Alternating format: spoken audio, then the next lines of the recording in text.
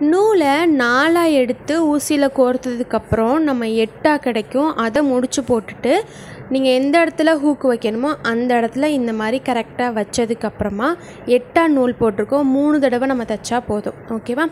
First கீழேருந்து ஒரு whole வழியாக மேலே எடுக்கிறீங்க. ஓகேவா?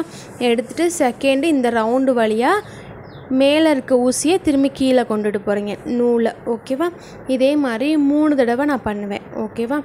நெக்ஸ்ட்டு அப்படியே மேலே இருக்க அந்த கம்பிக்கு போகலாம் நம்ம கீழே எப்படி நம்ம வந்து ஒரு செக்யூர் பண்ணோமோ அதே மாதிரி இந்த கம்பியையும் கம்பிக்கு வெளிப்பக்கமாக நூல் எடுத்து உள் பக்கமாக கீழே கொடுப்போம். அவ்வளோதான் ஓகேவா? அதில் ரெண்டு தடவை பண்ணால் போதும்.